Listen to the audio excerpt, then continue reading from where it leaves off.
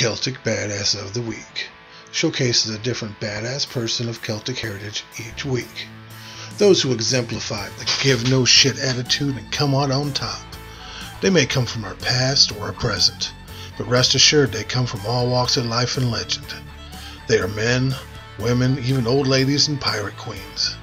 You don't have to be a muscled up Celt in a fur kilt swinging a mighty sword.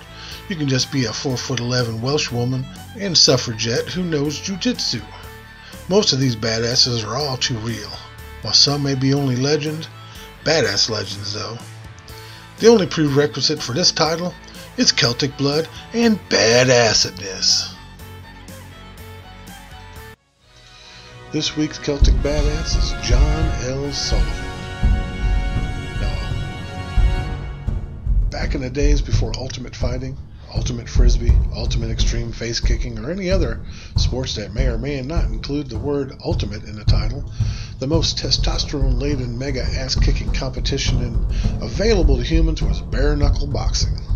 Now, this badass Fight Club style face smashery is as old as time itself, and back before everybody thought it would be cool to put the sport on skates and call it professional ice hockey, Hardasses around the planet spent their days ruthlessly dishing out knuckle sandwiches like pissed off chefs at the International House of Ass Kicking.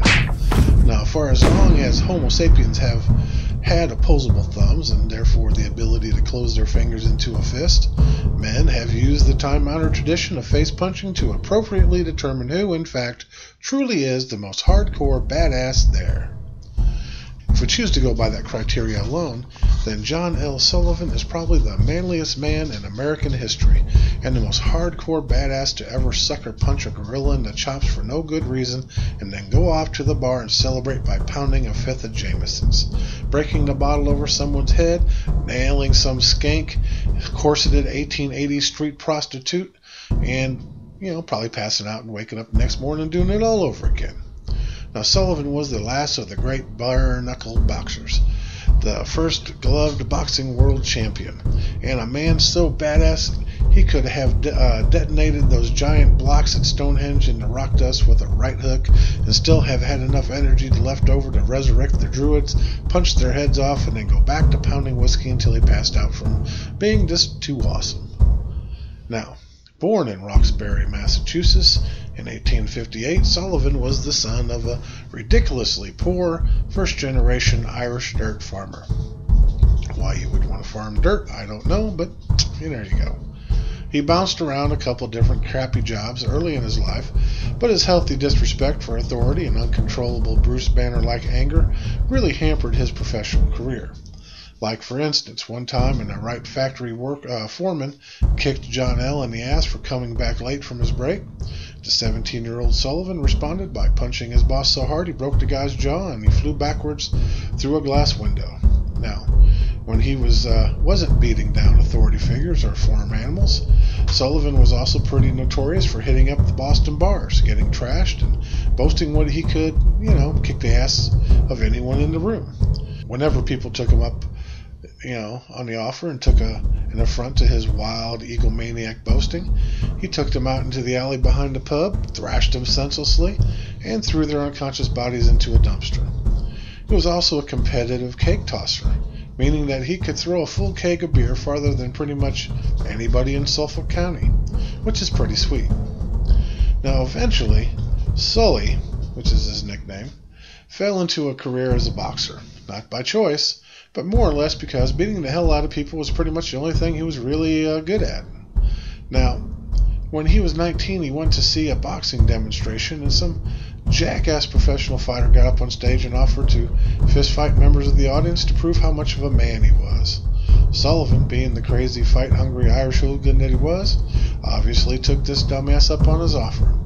The jackass boxer sucker punched Sullivan in the face during the pre fight handshake, so John L. responded by knocking the guy out of the ring with a huge uppercut, sending him face first into the orchestra pit, where he crashed through a baby grand piano.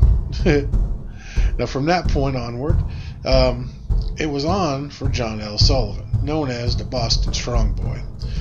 The 5'10, 196 pound Sully started traveling around, fighting anybody stupid enough to stand toe to toe with him. and beating the hell out of amateur and professional boxers across the Northeast. He quickly became the well known for his uh, berserker hard punching style. Once he even KO'd a dude with two punches. Now, his endurance, his speed, and his innate ability to take a ludicrous amount of physical damage while still remaining upright made him a legend. Now, during the late 19th century, bare knuckle boxing was illegal in the United States, and therefore even more badass. But this also meant that a lot of fights had to take place in situations where cops couldn't bust them up and arrest the fighters for assault and battery. On one such occasion, Sullivan boxed a guy while riding on a barge in the middle of the Hudson River, beating down a dude known as the Bull's Head Terror. Now, a fight that lasted over an hour, I find this pretty damn impressive because with a nickname like the Bull's Head Terror, I'm picturing Sullivan fistfighting a freaking Minotaur. Now, Sullivan also traveled the country on the rails, traversing the United States on three separate occasions, putting on demonstrations and exhibitions challenging anybody and everybody to come on stage and fight him, and offering a prize to any challenger who could last four rounds in the ring with him. Now, on his three trips, only one man ever made it the full four rounds. Most of the others didn't last 10 minutes. John L. was pretty much an ultra mega superstar at this point and had become legendary for his badassitude as a back alley underground boxing champion. He won the American Bare Knuckle Championship in 1882, only needing about 10 minutes to bash in the face of the old champ, and won the world title in 1889, despite arriving at the flight, uh, fight after a long night of drinking, partying, and scoring with the chicks. Now, Sullivan showed up looking like he had gone 36 hours without sleep, which he probably did, and drank whiskey and tea in his corner between rounds. He barfed over the side of the ring in the middle of the 44th round, jeez, but kept it there, pushed it to the limit, and won the fight in the 75th round when the other dude was just basically too exhausted to even continue fighting. Eventually, they uh, they thought maybe they could curb the limitless concussion uh, force of this rock hard fist by making him wear gloves. But John L. Sullivan wasn't going to be deterred by something as trivial as two ounces of foam. In fact, he preferred the hard leather of the gloves because they protected his knuckles from getting all cut up on his opponent's mutilated faces. Dude went out, put on his gloves, beat down a couple chumps, and took the gloved boxing title as well, making him not only the last of the great bare knuckle boxing champions, but the first real heavyweight gloved boxing world champion as well. The life of hard drinking and hard fighting eventually caught up with old John Sullivan. The Boston strong boy lost his first fight at age of 29, going down to the 21st round. I find this pretty, uh, pretty impressive because after this bout, Sullivan still did some promotional exhibition type stuff, but this was more or less the end of the professional fighting career. During his 14 years as a fighter, John L. Sullivan was the champion for seven years as a gloved fighter and seven years as a bare knuckle brawler. He retired as one of the world's most popular and wealthiest sports heroes. Uh, helped bring glove boxing into prominence as a professional sport and was actually really good friends with Teddy Roosevelt, which can only be considered bonus points. You know, how, you know, if you know Teddy Roosevelt, no matter how you slice it, that makes you badass. Now, his final official record as a fighter was 38 and 1, 38 wins, 1 loss, with 33 knockouts. But that number doesn't really take into account the many unofficial off the book fights, the majority of which resulted in his enemy having to find an amateur doctor to help wire their jaws shut or extract their faces from their abdominal cavities.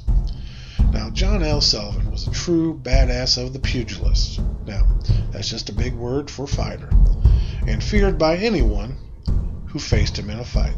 Dude, that's badass.